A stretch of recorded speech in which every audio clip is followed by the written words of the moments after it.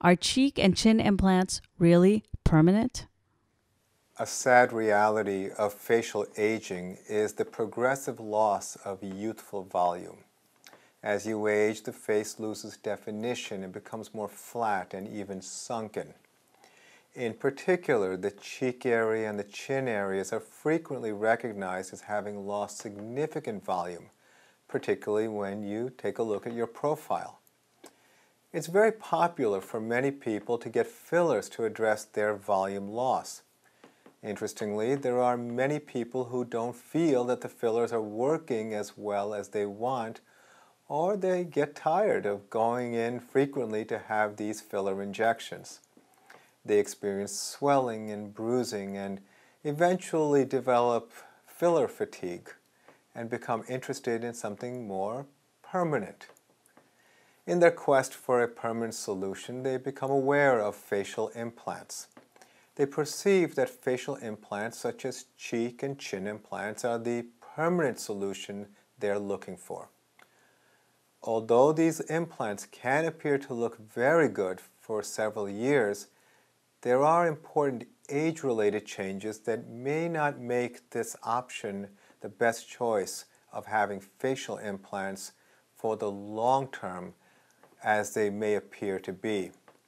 I'll discuss how I adapted my approach to facial volume loss from surgical implant placement to longer lasting non-surgical solutions in my practice.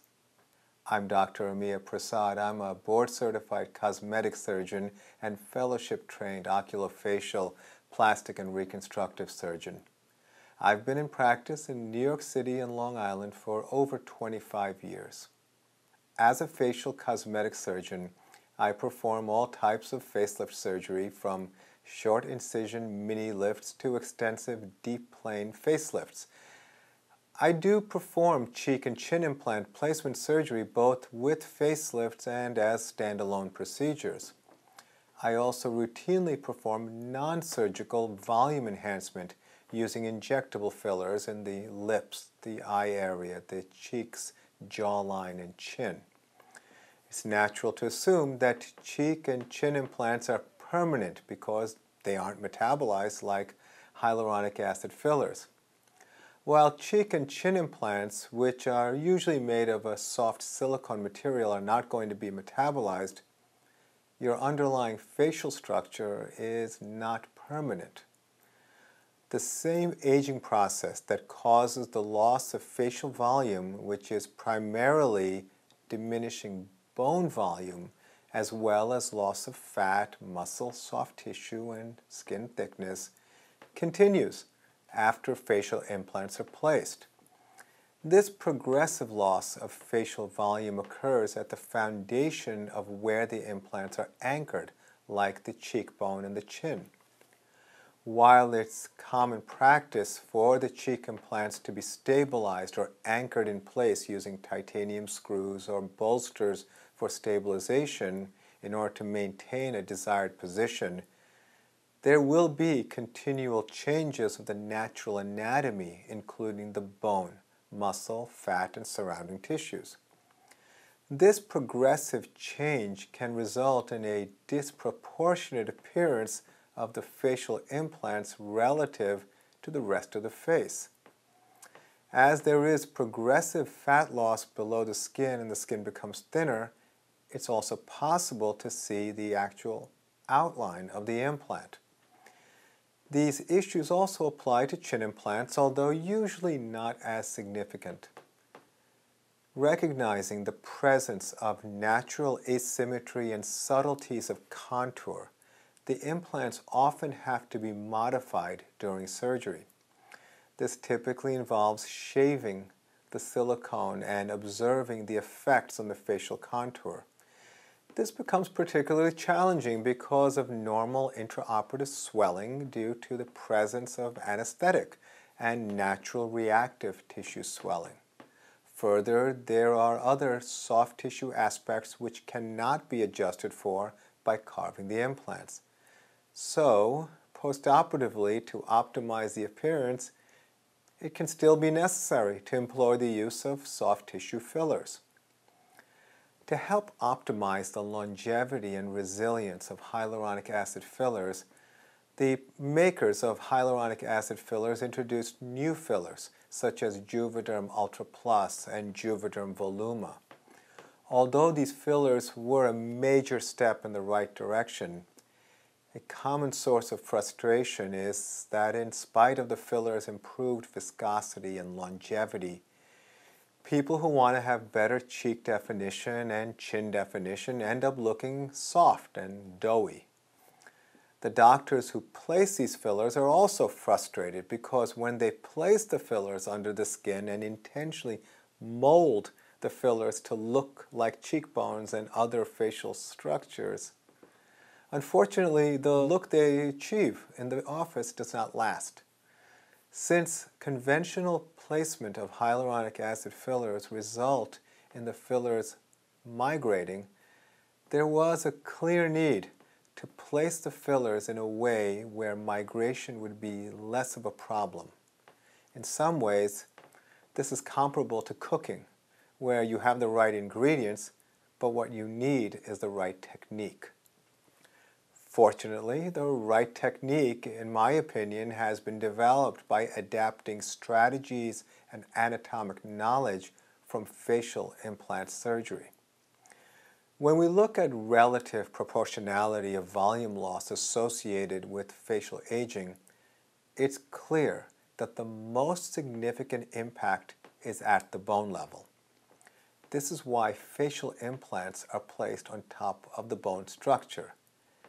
This, of course, begs the question why are soft tissue fillers to improve facial structure placed just below the skin level? It should be no surprise that these fillers end up being displaced and creating the stereotypical pillow face appearance. This means that there needs to be a consistent and predictable method to place long-lasting filler at the bone level to take advantage of the strong foundation and the intrinsic shape inherent to the bone structure. Although many of my colleagues and non-physician injectors believe that they are placing filler at the bone level when they do a demonstration and show how the needle they're using is hitting the bone, they are not really delivering the filler into the space that optimizes an enhanced structure.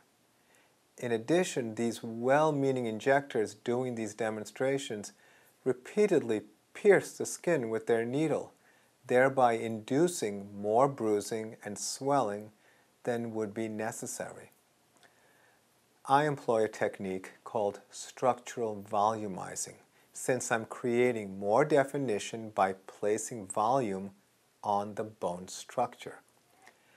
I believe by placing this thicker and longer lasting filler using blunt cannulas instead of needles, I'm able to deliver the material I want into the spaces above the bone in a smooth, almost frictionless way, reducing the risk of bruising, swelling, and other potential complications.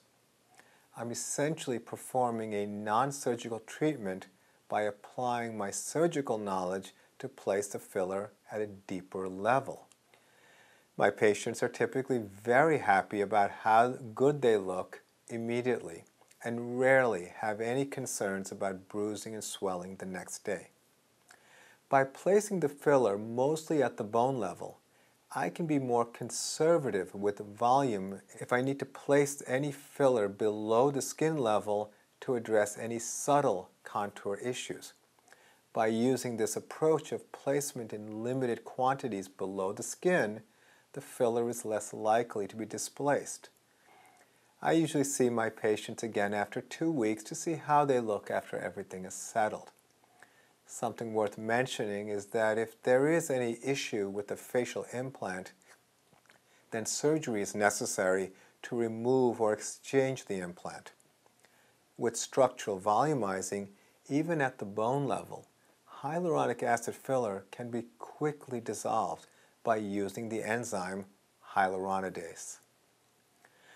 When considering cheek and chin augmentation for a more youthful appearance, remember, our facial dimensions change with age, but the facial implants don't.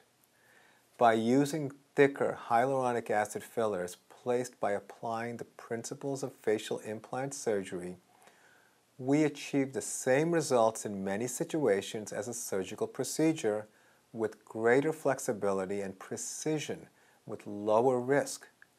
While fillers do not last as long as surgical implants, they do last longer than they did previously and are certainly far more convenient for my patients. I've also observed that many people who would have otherwise objected to undergoing any kind of facial implant surgery are much more interested in having structural volumizing because of the convenience, safety, predictability, and reversibility. I hope you found this information helpful. Thank you for your question.